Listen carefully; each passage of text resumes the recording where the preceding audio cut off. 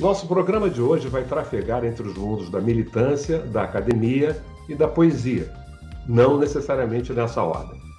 Como é possível usar o conhecimento intelectual para alavancar as pautas antirracistas em nossa sociedade e, ao mesmo tempo, utilizar a poesia como veículo de comunicação dessas ideias e, particularmente, de conscientização e elevação da autoestima da população negra?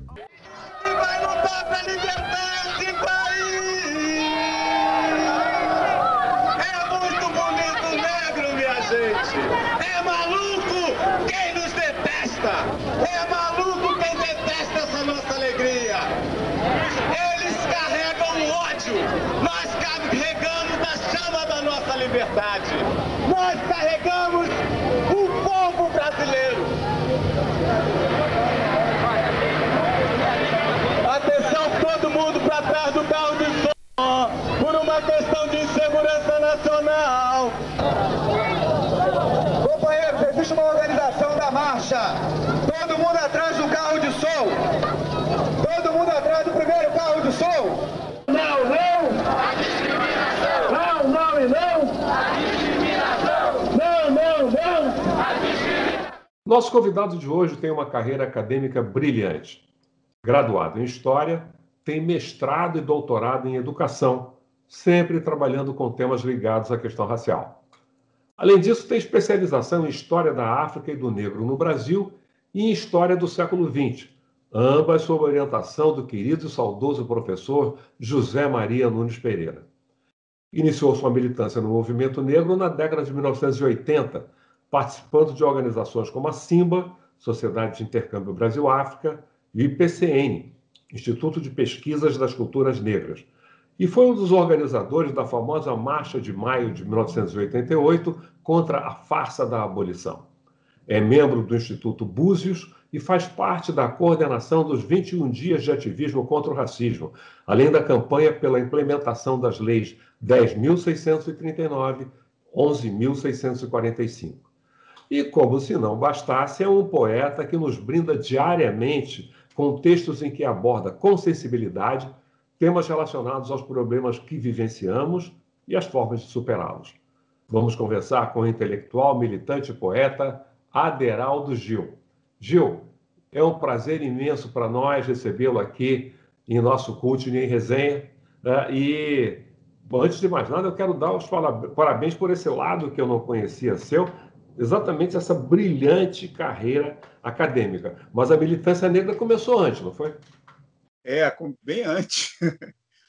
Bom, queria primeiro agradecer aí o convite do Filó e do Medeiros. Né? O Cultne é um, um site importantíssimo eu uso muito, né? E dou muita referência pessoal que lida com magistério, com pesquisa, né?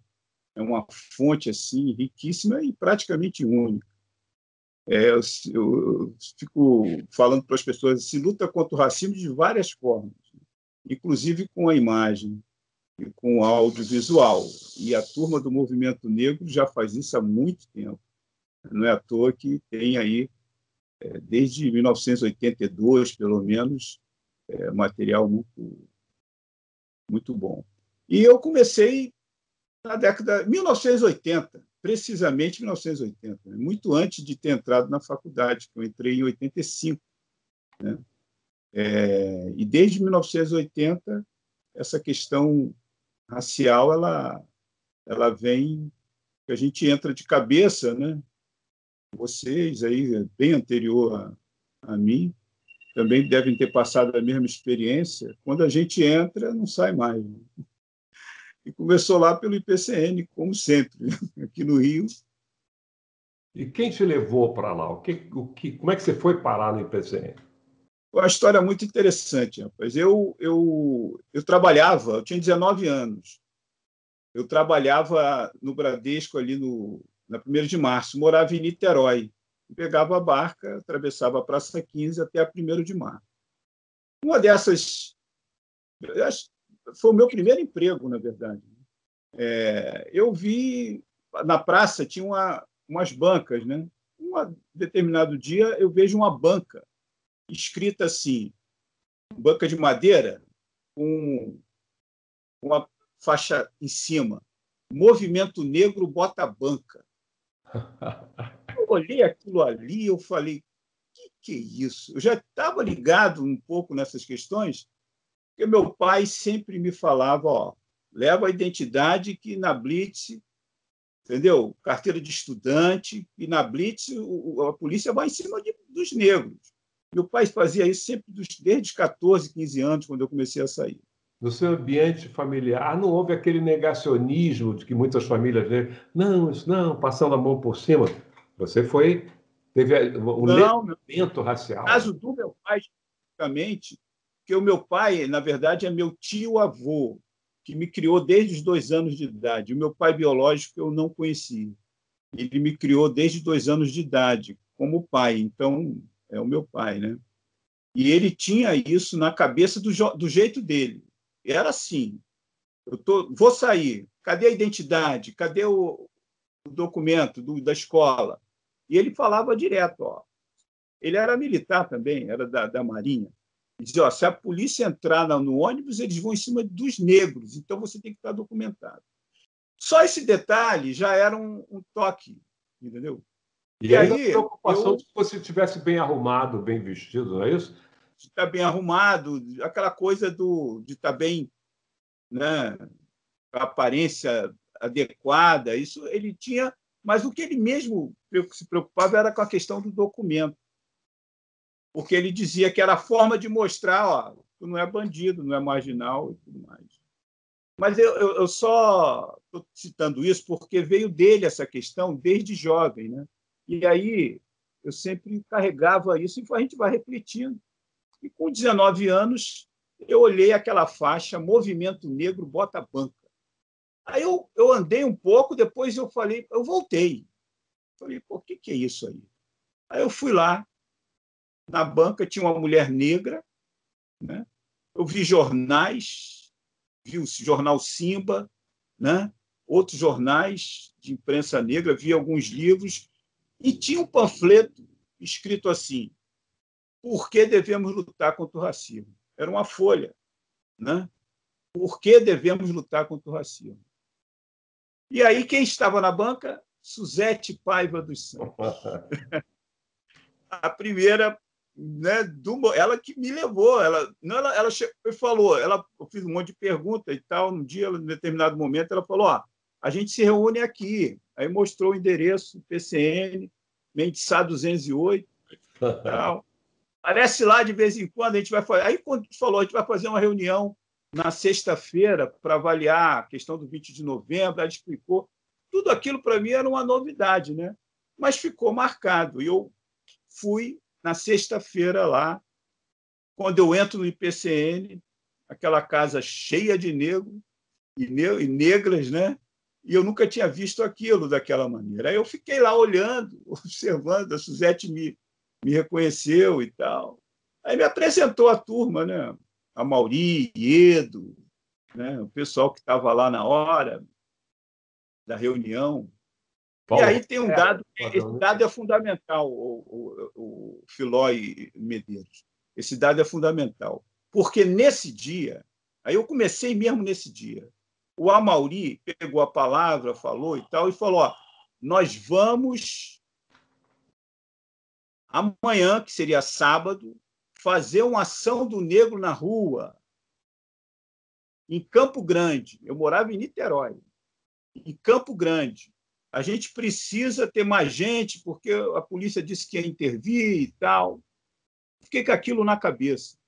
Saí de lá, fui para casa, Acordei cedo, no outro dia, atravessei a barca, fui para a Central, peguei o trem e fui para Campo Grande no dia seguinte. Chegando lá, aí eu vi a, a, atividade que eu comecei a participar também, que é chamada, era chamada de Ação do Negro nas Ruas.